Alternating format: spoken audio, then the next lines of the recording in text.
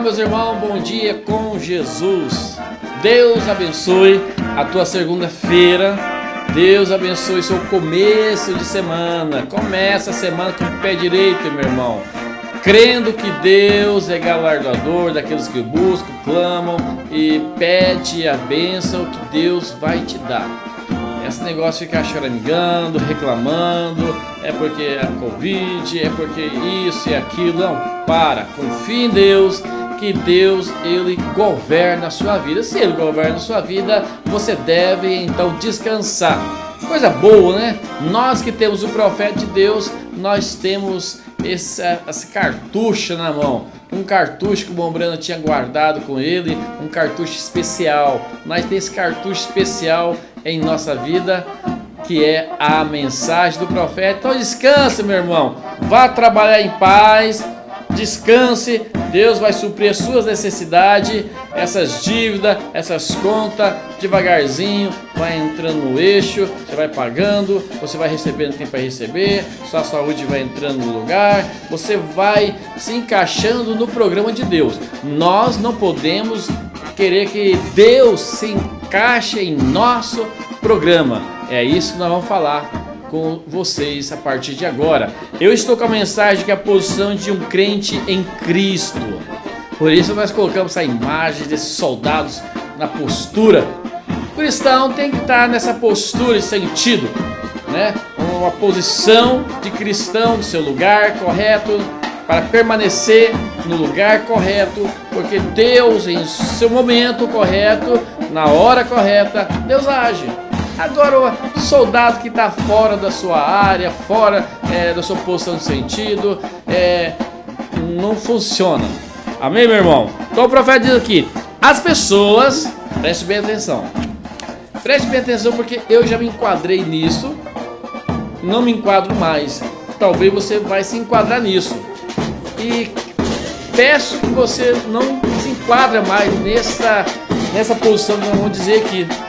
As pessoas tentam fazê-lo por si mesmo, tentam fazer a palavra de Deus se encaixar com seus programas.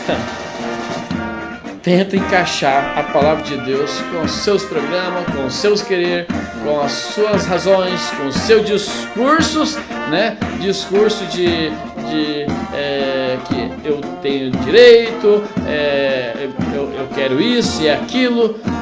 Tá entendendo? Não funciona. Todos nós estamos dentro da programação de Deus. É nessa programação que nós queremos estar. Você simplesmente deve esperar no Senhor, descansar. O profeta diz: Mas isso você o tem ao contrário.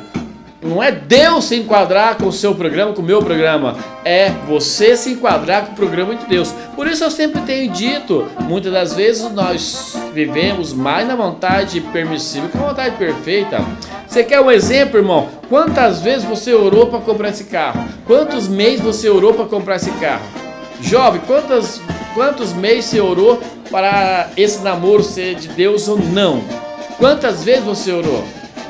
Quando você vai a um passeio, quando você vai na casa de um irmão, quantas vezes você orou? É sua vontade de eu ir para esse lugar? É sua vontade de fazer essa faculdade? É, é sua vontade de entrar nesse serviço? Nós, se nós buscássemos se enquadrar na programação de Deus, nós sofreríamos muito menos.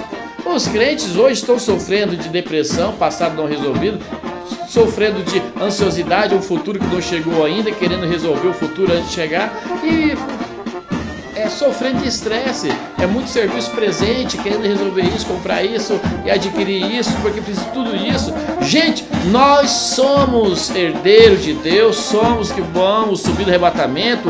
Acalma um pouco, coloca o pé no freio, tire os seus, os seus próprios motivos objetivos, descanse em Deus, deixa Deus agir naturalmente. Eu sei que é difícil, falar que não estou falando, muitas das vezes é fácil chegar a, aos 45 anos que eu estou chegando, é mais fácil falar dessa idade do que falar da idade de, de 20, 18, 17 anos, onde a maioria dos jovens sofre e talvez uma irmã com seus 30, 35 sofrendo de ansiosidade, sofrendo de depressão, sofrendo de estresse, ser muita coisa no mesmo momento. É muito mais fácil. Mas do outro lado, você deve ouvir uma voz que tem mais experiência. Descanse em Deus. Descanse em Deus. O profeta vai seguir aqui. Moisés, quando esteve aqui, sabendo que Deus tinha feito uma promessa, que ele ia libertar os filhos de Israel, bem, Moisés, sabendo que ele foi chamado para este propósito, quando você tem um chamado de Deus, isso não significa que você acabou de saltar para, para a direita, para fora, e que você está fazendo a vontade de Deus. Você tem que encontrar a vontade de Deus e o tempo de Deus para fazê-lo. Isso, quando Deus toca em você, quer dizer, você tem que fazer já imediatamente. Espera Deus fazer por você te mostrar. Jovem, espera Deus mostrar para você que é realmente essa moça. Irmão, irmão, descansa em Deus. Essa é a minha mensagem nesse dia para você. A posição de um crente em Cristo. Quer dizer, espera Deus. Espera Deus, que é o nosso capitão, é o nosso general, é ele que vai ditar avante. Deus te abençoe, uma ótima segunda-feira e até amanhã, se Deus nos permitir, vamos continuar com este assunto, a posição de um crente em Cristo.